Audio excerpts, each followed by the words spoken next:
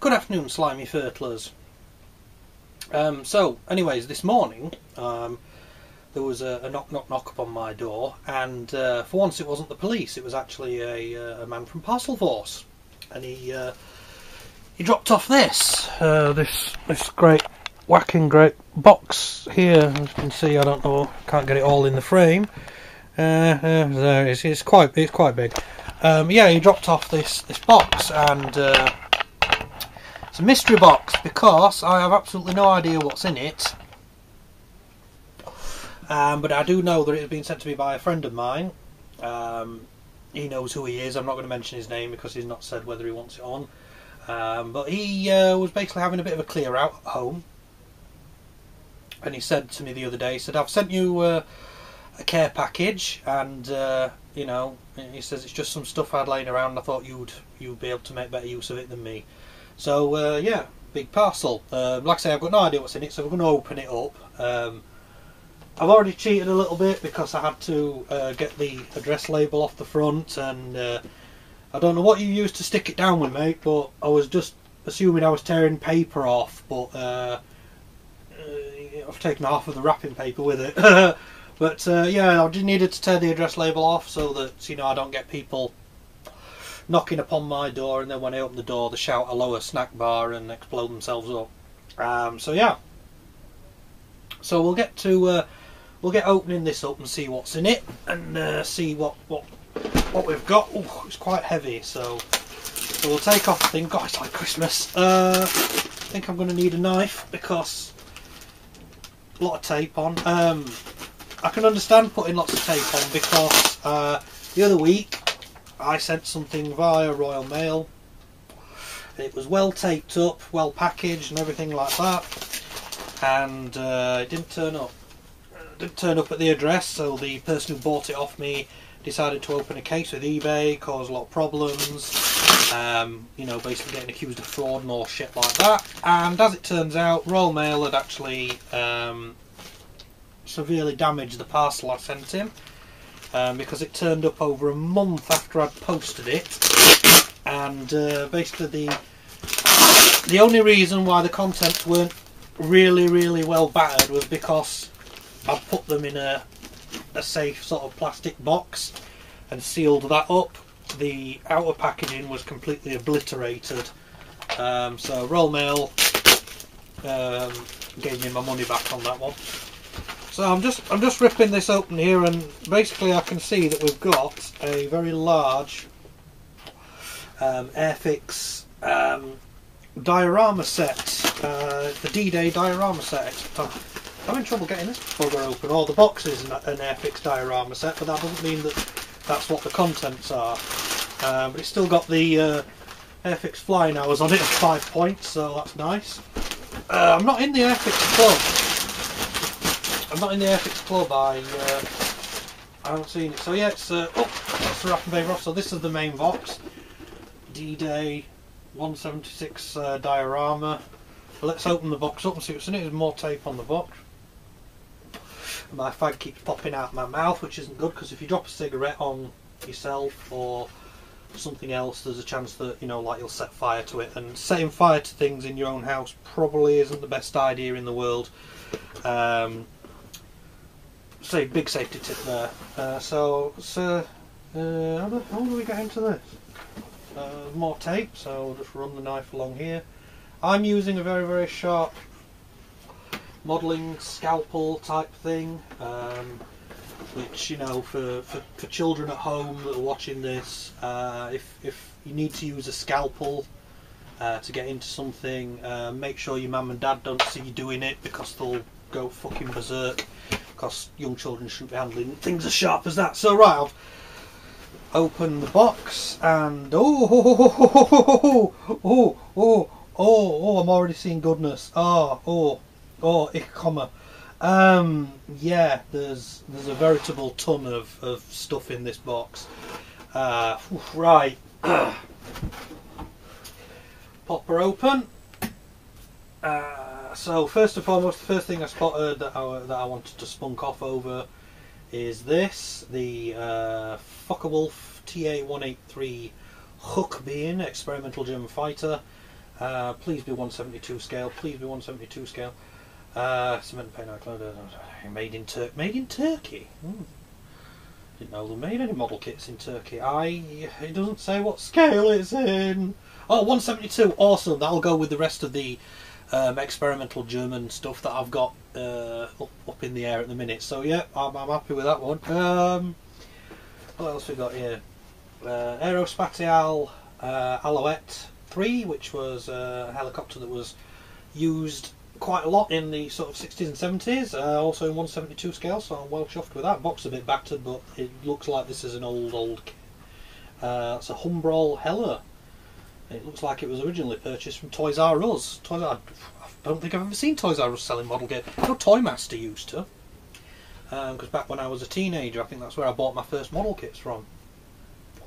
So the next one out thing is a Fokker F1, uh, which is oh yeah, another 172. So yeah, that's that'd be the yeah that's the um, Red Baron plane, but it's it's it's not meant to be painted in the Red Baron colours. Um, I've already got one of those, but I might might have, might have another one. Um, nice picture there of the the Fokker F1. Um, you know, having a dogfight with some Sopwith camels. Very nice. What we got here?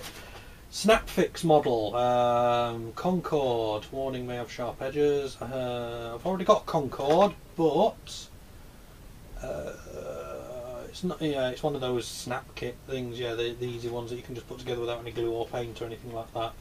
Uh, free wall poster, oh, nice one. Uh, so over here, what else we got in here? Oh, Supermarine Spitfire Mark Five with the big ass cannons on it. Also, one, oh, this is ace. uh, what else we got? Uh, stuff. Oh, an F five, an F five Tiger. Oh, nice one. Oh, well, F five Freedom Fighter or whatever they call them. Um, build the dream. It's Airfix, so it's one. It'll be one. So yeah, it's one seventy two. Oh. This is awesome. Oh fuck! Oh, it's wrong scale. Oh, but still, I'll build it anyway. An A10 Thunderbolt. Oh, fucking love A10s.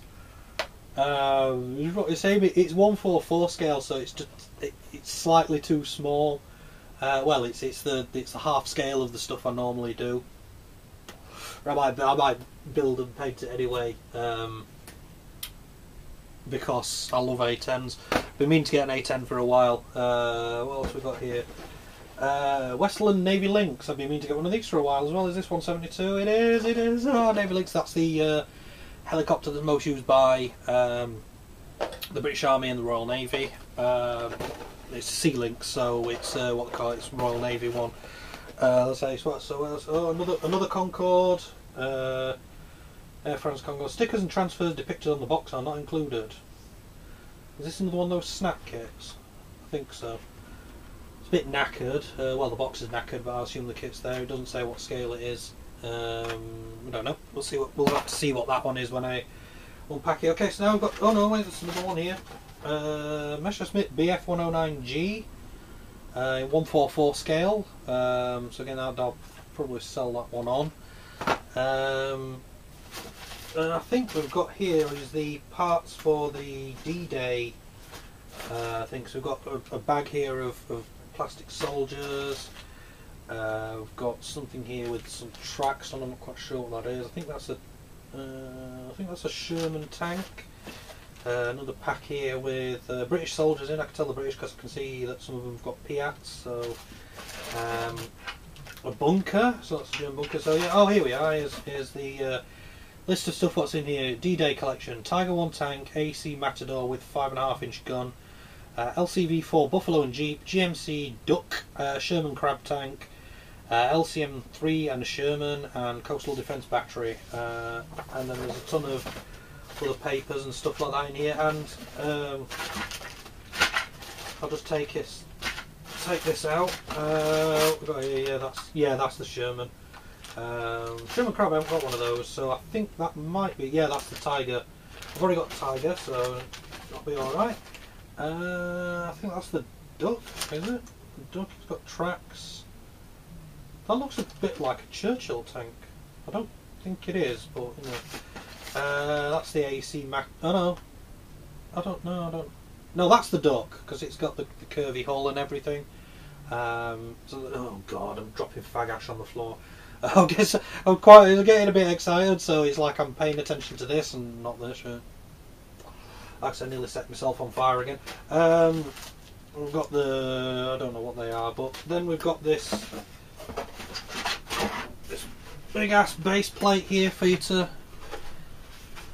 Got like a, a beach. Uh, yeah, this is the that's supposed to be the sea, and then this is the beach with a nice little crater in, and this is a cliff for you to put the coastal defence battery on. Um, thin floppy plastic, but you're supposed to mount these things on a base. So uh, the thing, and then just a couple of uh, a couple of bits and bobs, thumbs off the, know, just a, an old Airfix uh, sale thing, and then a bit of information there about the uh, D-Day landings. So yeah, it's a right little care package there. There's more than enough to keep me going for fucking ages in this lot. Um, yeah, that's awesome. Um,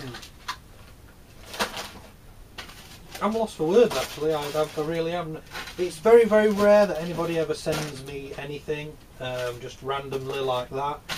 Uh, and to get to basically get a big box of awesomeness. I mean, I've got all the, you know, all this lot here. These are all the the, the thingy kits, and then the D-Day box. It's I don't know. It's uh, especially being as like I say, I don't get out of the house much anymore, and you know, it gets it, it gets kind of you know boring sitting in the house on on my own all the time.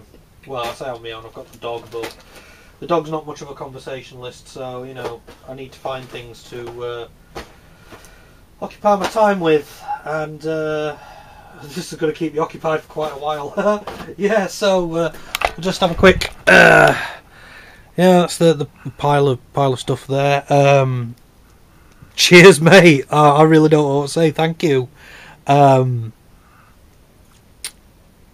thanks. I, I can't really say much else, really. Uh, fucking hell. there must be a, a, a, fair bit of money's worth here. Uh, you know, five five a, a kit.